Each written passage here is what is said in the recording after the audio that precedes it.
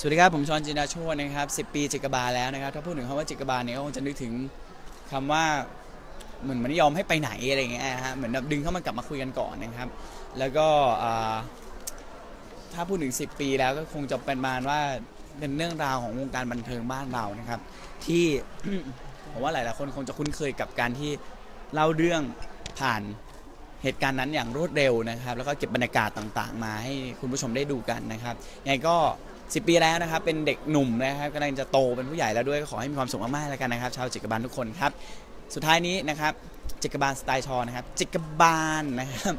นะครับฝากด้วยกันครับมีความสุขมากครับ